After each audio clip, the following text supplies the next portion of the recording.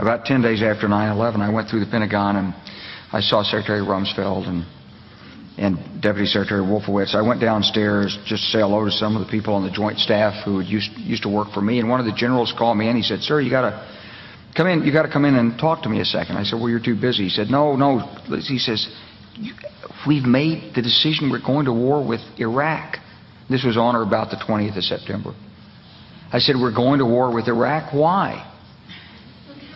He said, "I don't know."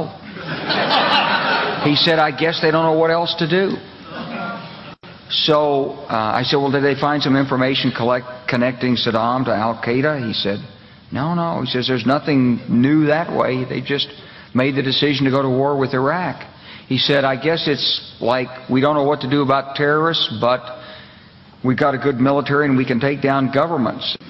So I came back to see him a few weeks later and by that time, we were bombing in Afghanistan. I said, Are we still going to war with Iraq? And he said, Oh, it's worse than that.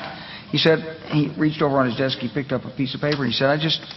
He said, I just got this down from upstairs, meaning the Secretary of Defense's office today, and he said, This is a memo that describes how we're going to take out seven countries in five years, starting with Iraq and then Syria, Lebanon, Libya, Somalia, Sudan, and finishing off Iran. So go through the countries again? Well, starting with Iraq, then Syria and Lebanon, then Libya, then Somalia and Sudan, and then back to Iran.